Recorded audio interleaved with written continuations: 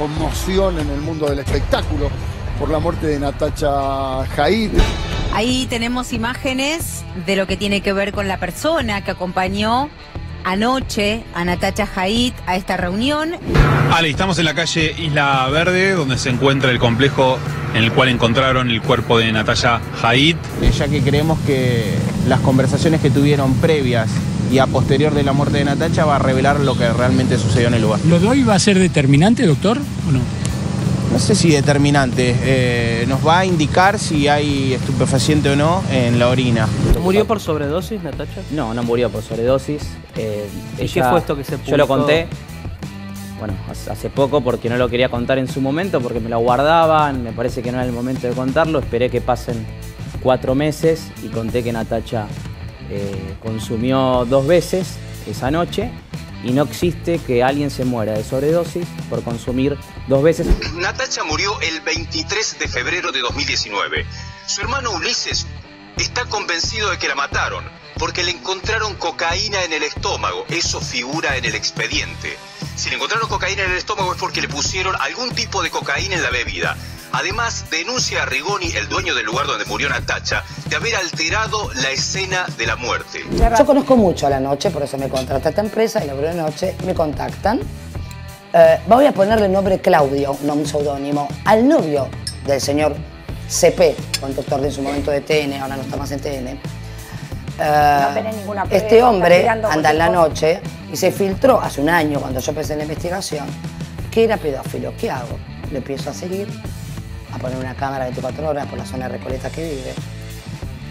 Salía de la casa y trataba de levantar chicos, empecé a que eran chicos que rozaban los 18, 17, no te das cuenta. ¿Y hace cuánto tenés esa Eh, cámara? Lo levantaba en la calle.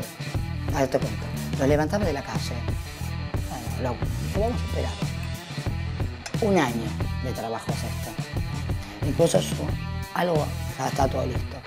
Eh, cuando sale un chico, año no cuando sale un justicia. se tiene que terminar de probar y lo terminé de probar, pero espera que te cuento, hasta que yo trato de hablar y de grabar a un chico que sale de la casa, si no, ¿cómo compruebo si es menor o no? Lógicamente. Y tenía 17 años, este chico, Rubio José Lester.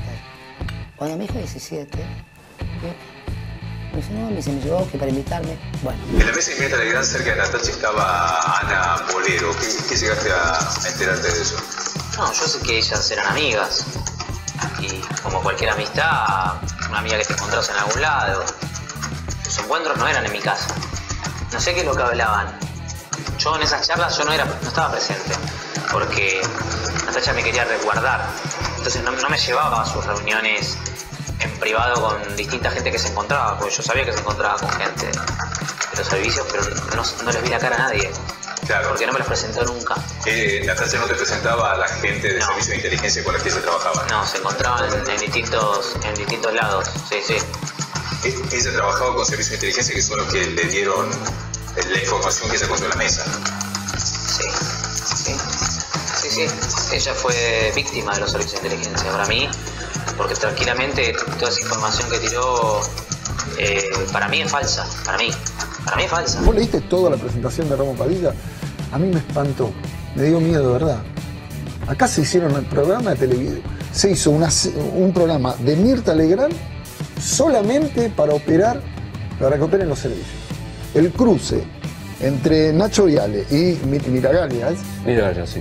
sesenta y pico de cruces de llamado antes de ese programa. ¿Para qué si él no iba al programa? Fue armado para ensuciar a colegas nuestros, a compañeros nuestros de este canal, a políticos, a todos. Y no importa eso. No importa de verdad. Fue Ana Polero, que era, una, era, era un, un servicio, estaba ahí atrás de cámara dándole letra a Natacha. Hoy es una cagada hablar de Natacha, porque lamentablemente se murió. Sin duda. Pero esto es cierto. Digo, es gravísimo esto. Pero miren cómo se cruzan, ¿eh? Ignacio Viale y Eduardo Miragata, 37 mensajes. Eduardo Miragata no fue, ¿eh? Una- 37 de entrada, 43 de salida. Entre una persona que era de la AFI e Ignacio Viale. Eduardo Miragalle no fue al programa. No fue al programa. ¿Para qué tenían estas llamadas? Bueno, Natacha 57 con Eduardo. 60, con Eduardo Miragalla. 62. Eduardo Miragalla? perdón? Eduardo Miragalla era un fiscal que después empezó a trabajar para la AFI. Ah, ok, ok. O sea, trabajaba para los espías lo que era la CIDE. Vos tenés que responderme la pregunta que yo te hice. ¿Qué pruebas vas a llevar a la justicia de lo que acabas de decir? Yo no- vos no, vos yo no tengo dijiste que sabías nada, quién lo había matado. La- ¿Quién no, la mató? No.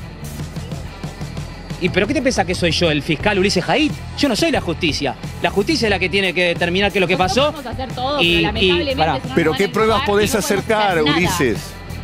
¿Qué pruebas podés No, acercar, Ulises? todo. Escuchá. No nos dan espacio. Pruebas, escu- escuchá que te explico porque quiero que escuche la gente, más allá de que vos sos un irrespetuoso y no te mereces la nota en este momento.